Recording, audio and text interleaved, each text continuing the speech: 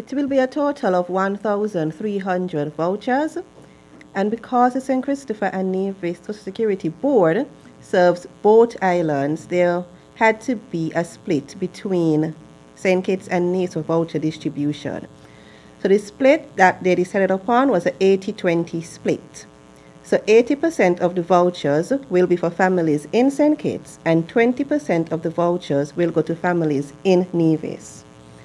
So once the vouchers are prepared and ready for distribution, the NEMA district teams would have been the ones to identify the persons who were eligible for the vouchers would be the ones to distribute or deliver the vouchers to the households.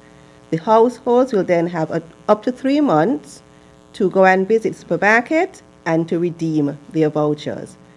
When they go to redeem the vouchers, they would have to walk with a ID so that they have proof that this is the person who the voucher belongs to.